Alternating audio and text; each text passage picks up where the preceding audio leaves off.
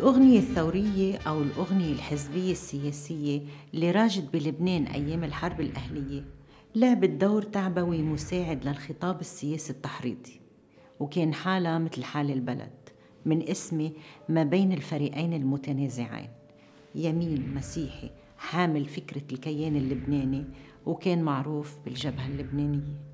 ويسار كان تشكيلة من الأحزاب المعادية لأمريكا وإسرائيل والرجعية العربية ومتحالف مع الثورة الفلسطينية وكان معروف بالحركة الوطنية. إذا منصغي منيح لكلمات الأغاني نقدر نفهم ليه صارت الحرب الأهلية ومنلاقي إنها بتعكس مفهومين متناقضين لشخصية لبنان. شخصية العروبي والتبغ والزيتون والبندقية مقابل شخصية لبنان الأخضر والجبال العليانة وأرز الرب. حمرا ومكتوبة بالنار بيضا ومرسومة أحشار حرية مش خبز وخم هبة ريح وليلة قمر ودرب تودي صوب بتصبر كتايب والملعب واسع واسع ضلت الكتايب رحلة مجروحة ليه صارت حكاية؟ وكرامة زهورك بالدم محناي الغنية بدها شاعر أولا من شعراء اليمين اللي وظفوا موهبتهم بمشروع بناء القومية اللبنانية سعيد عقل وموريس عواد ويونس الإبن. ومن شعراء اليسار طلال حيدر وشوقي بزاع ومحمد وحسن العبد الله وغيرهم. وشعراء الثورة الفلسطينية كمان مثل محمود درويش سميح القاسم وتوفيق زيات. اللي كانت قضايا القومية العربية وفلسطين والمقاومة هي أهدافهم غنية اليمين كانت بتشبه خطاب اليمين. أرز وجبال وأبطال ومجد وحرية ونزور ووعود ومقاومة ونوستالجيا وأحلام. وهي رغم معانيها الثورية كانت غنية رومانسية وحالمة تشبه الغنية العاطفية اللبنانية قياسا على الصخب الملازم للأغاني الثورية اليسارية.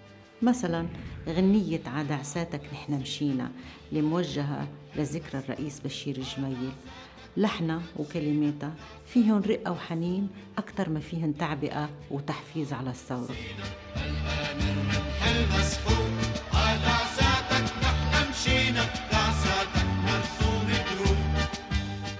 أما غنية اليسار فكانت بتشبه اليسار. فلسطين محورها الأساسي. وهوية لبنان العربية الفقراء هموم الطبقة الوسطى المقاومة والسلاح وتحرير الأرض. وكانت متشعبة. تربعت على عرشها أناشيد الثورة الفلسطينية بحسها الثوري العالي وموسيقتها التحريضية الصاخبة.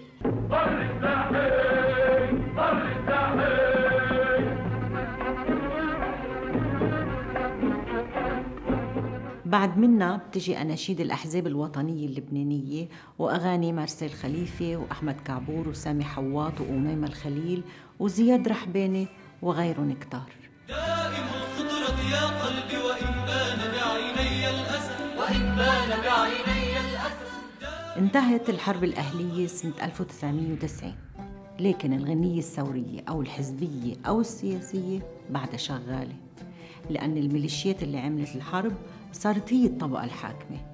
وأنتجت ميليشيات سلطوية هالشخصية الجديدة أو المقالات الجديدة للميليشيات كمان هي بحاجة لتعبئة الرأي العام. تضل محافظة على سيطرتها.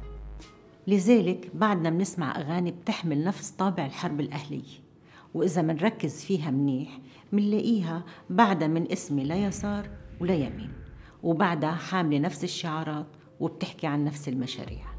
أغاني التيار الوطني الحر مثلا تشبه كتير أغاني الكتائب والقوات أيام الحرب. نفس النفس الرومانسي التمجيدي بلبنان. أغاني حركة أمل وحزب الله مثل أغاني الحركة الوطنية. بعدها بتحكي عن تحرير الأرض ومقاومة إسرائيل وعن فلسطين وغيرها. الفرق إنه الغنية الثورية هالأيام فقدت معنى الثورة. يمكن بيلبق لها أكتر معنى الثروة. صارت غنية حزبية خالصة. أو غنية برجوازية سياسية. وظيفتها الأساسية تعميم ونشر أيديولوجيات دينية وسياسية ومدح رؤساء الأحزاب. مثل غنية التيار الوطني الحر رح نبقى هون مهما العالم قالوا ما منترك عون وما بنرضى بداله. رح نبقى هون مهما العالم قالوا ما بنترك أو الغنية اللي بتمجد رئيس التيار الجديد الوزير جبران باسيل طالع فوق المجد الساطع.